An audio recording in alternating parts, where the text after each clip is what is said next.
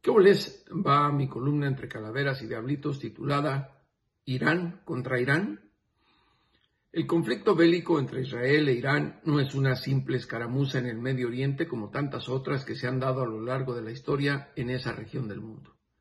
Las grandes potencias, Estados Unidos, Rusia y China, y las otras de menor calada, Gran Bretaña, Alemania y Francia, están haciendo diplomáticamente hasta lo imposible para calmar los ánimos de guerra.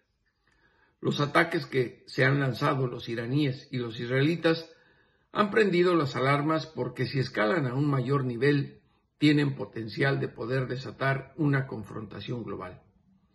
El odio que se tiene en las dos naciones es innegable. Ambos países se quieren desaparecer del mapa. Y aunque al sagradísimo chamuco mis padrinos los hijos del Averno lo alimentan con almas perdidas, más vale tener la fiesta en paz a nombre de la paz. Y aquí si vale la redundancia. En cuanto Irán atacó a Israel por el genocidio contra los palestinos en la franja de Gaza que Benjamín Netanyahu está llevando a cabo, las luces de alerta se prendieron en Beijing, Moscú y Washington. Estados Unidos es aliado y defensor incondicional de Israel. Rusia y China lo son de Irán. Las tres potencias por ahora han optado por la mesura e intentan contener las tentaciones de que sus defendidos se declaren formalmente la guerra. Oficialmente Irán no está declarada como una nación con armas nucleares, a diferencia de Israel, pero se presume y sospecha que sí cuenta con un arsenal de destrucción masiva. Eso es justo lo que preocupa a las grandes potencias, que el conflicto entre Irán e Israel escale a niveles bélicos que pudiesen provocar la intervención de Estados Unidos, Rusia y China. Nadie en su sano juicio desea una tercera guerra mundial por el bendito chamuco que todavía queremos comernos unos tacos y ver otro mundial de fútbol.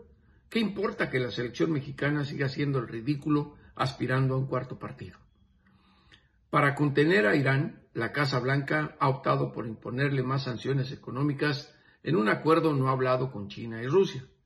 El gran problema se concentra en la irracionalidad de Netanyahu y su sed de sangre por el odio que le tiene a los palestinos al primer ministro de Israel, la Casa Blanca no ha podido contenerlo y sigue asesinando a civiles inocentes en Gaza.